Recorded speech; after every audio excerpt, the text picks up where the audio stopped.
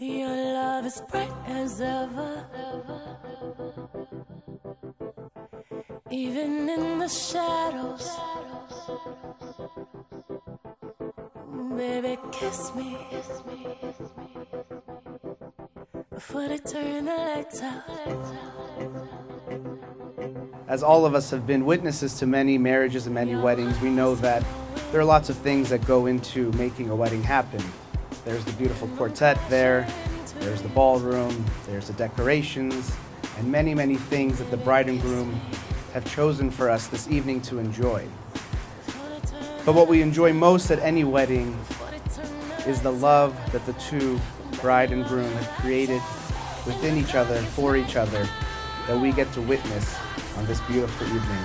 And because of that, I know that it will be a truly blessed night for all of us here today. Your face is all that I see.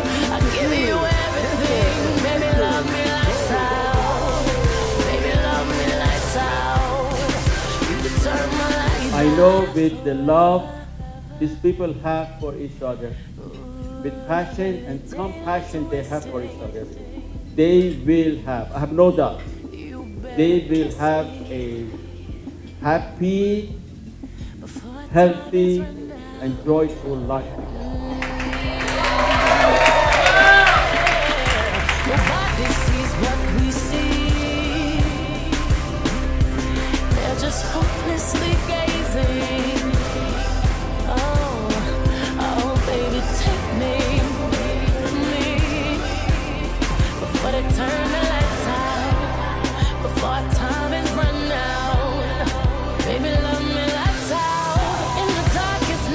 I vow to always be open to seeing my faults and working every day to be a better man and a better husband. I vow to honor your hopes and your dreams for yourself and support you as you become every day more and more that beautiful, talented woman you are. I promise to work on my spicy food tolerance so that when we go to dinner with your dad, he doesn't think I'm a baby.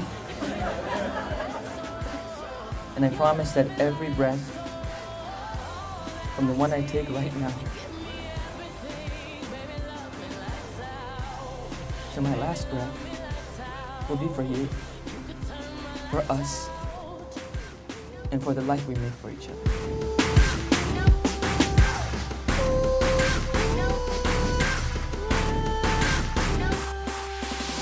I will love you from sunrise till sunset, and the darkness in between. I will love you through my words and my thoughts. I will love you from my insides and my outside, through the calm and the turbulent, the passion and the strife. I will love you through my actions and will commit myself to you every day until my body returns to stardust. I will love you. I will adore you. I will honor you. From the depths of my entity and from the certainty of my devotion, I will be yours always. Somos la sangre de la misma estrella. I love you. Uh-huh.